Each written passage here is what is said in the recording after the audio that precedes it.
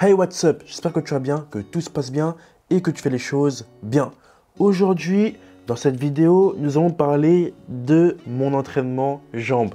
Enfin, beaucoup de personnes attendaient ça.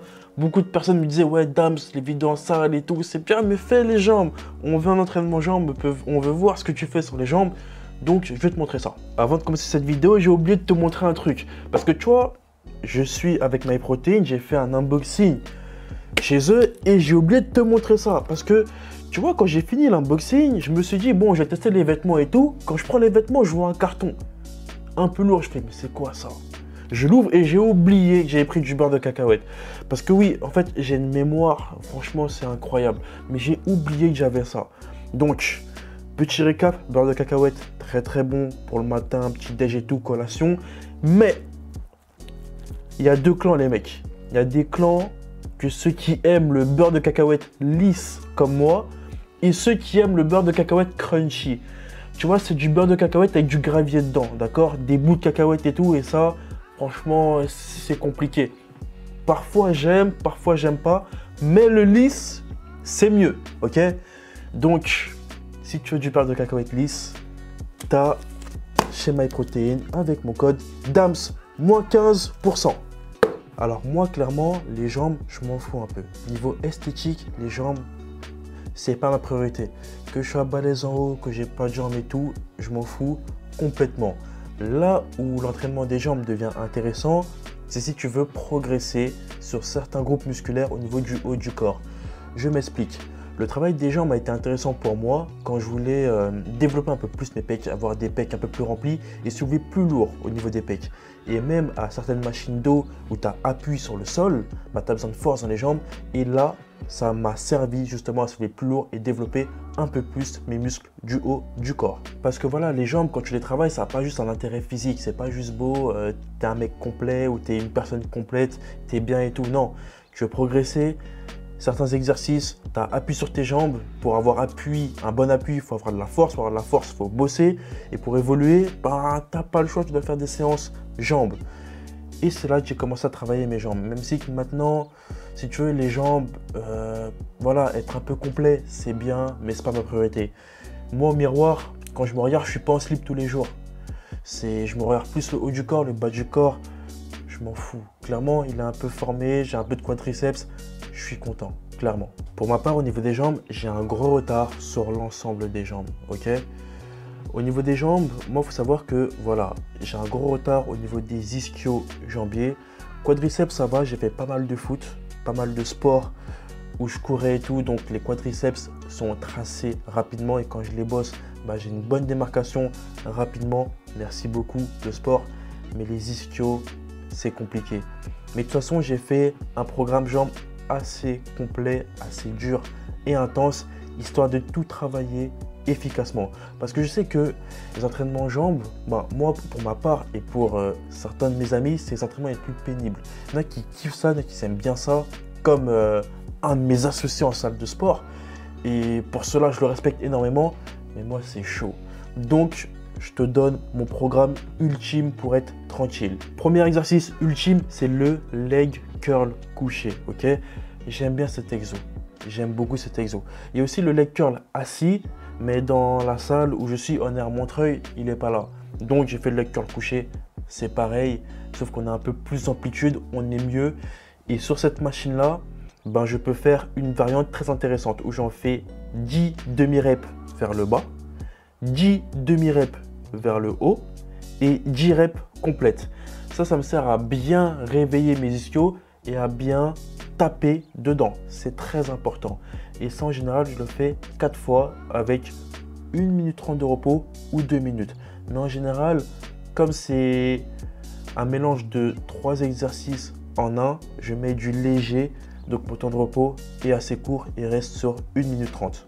Deuxième exercice, tout simplement, je vais sur le leg extension. Meilleur exercice pour les quadriceps. Moi, ce que j'aime bien faire, c'est faire 10 reps avec une jambe, 10 reps avec l'autre jambe et 10 reps ou échec avec les deux jambes directement. Ça aussi, ça permet de bien réveiller les quadriceps, bien se chauffer et se mettre dans le bain. Pour le reste, tout simplement. Ça, en général, je fais 4 fois 10 reps tranquillement, 1 minute 30 de repos. Ensuite, c'est pas fini, je reste sur cette machine de leg extension et je mets une charge un peu plus importante et je fais des séries de 10 répétitions assez lourdes, d'accord? Histoire de bien sentir mes quadriceps et aussi j'aime beaucoup cette machine et j'aime bien la sensation comme mes quadriceps travaillent. Je sais que les quadriceps c'est un point qui est plutôt fort dans les jambes pour moi, mais comme je t'ai dit, les points forts, autant les bosser un peu plus pour qu'ils soient encore plus forts. Même s'il y a des déséquilibres, asymétries, on saura les récupérer. Mais moi, je veux que mon point fort soit vraiment fort et vraiment visible au niveau des jambes. Donc, je fais ça juste après 4 fois de reps aussi. Repos 1,30. Et je poursuis après ça avec les squats à la barre. Squat, un des meilleurs exercices jambes, mais aussi le plus dangereux. Donc, vraiment faire attention au niveau de la technique, au niveau des postures dans ce mouvement-là.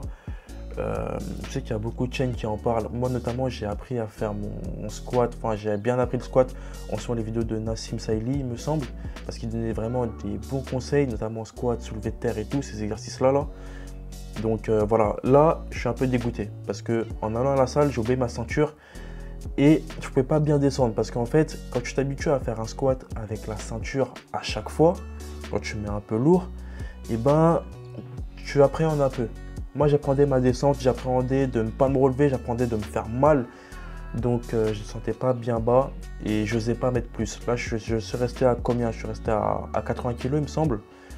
Je n'osais pas mettre 100, je n'osais pas mettre plus de 100 parce que voilà, j'avais pas ma ceinture et la ceinture, ça aide grandement pour le squat. Pour le squat, je faisais des 4 fois 8 ou 10 reps tranquillement avec 2 minutes de repos. 2 minutes parce que le squat s'amuse vraiment de ouf ça m'amuse, ça me fait mal, ça, ça, ça m'énerve. Donc je prends deux minutes de repos. Aussi parfois quand je m'entraînais bien en squat avec euh, mon frérot qui est très très fort au niveau des squats, qui lui met des plus de 140 kg, moi dès que je dépassais 120, 130 kg en squat, en général, je pense qu'au max c'était 140 kg, mais j'ai fait plusieurs reps donc je sais pas ce que c'est mon une rep euh, en squat, mais je prenais au moins 2 minutes 30, 3 minutes, voire 4 minutes de repos histoire de bien récupérer.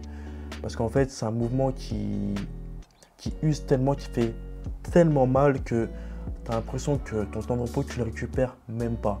Et c'est dans ces mouvements comme ça que la BCA et que certains compléments alimentaires comme la créatine peuvent rentrer en jeu et te donner la force nécessaire pour euh, récupérer et assumer ta séance tranquillement.